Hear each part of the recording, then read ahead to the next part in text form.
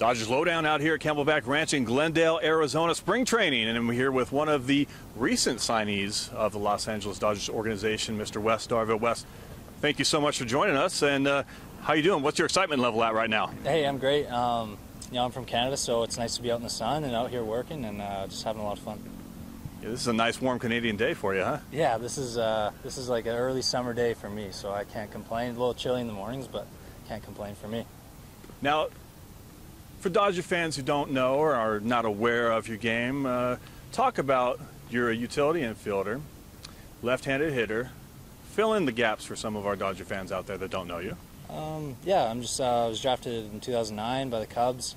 Um, I'm from uh, Vancouver greater area, and um, yeah, so now I just play all over, utility guy, do a little bit of everything, uh, run the bases really hard, um, you know, a little bit of power, um, just sort of you know, try to try to do it all out there and just try to um, play really hard and compete every day. What's the biggest asset you bring to this Dodgers organization right now? You feel? Um, I think just my versatility. I can play a lot of positions and a left-handed bat. Um, you know, I can come off the bench, um, whatever it may be, but um, just whatever I can do to help the team win. And I play hard, and uh, yeah, just just that's whatever I can do that day to help the team win. Come up as a shortstop.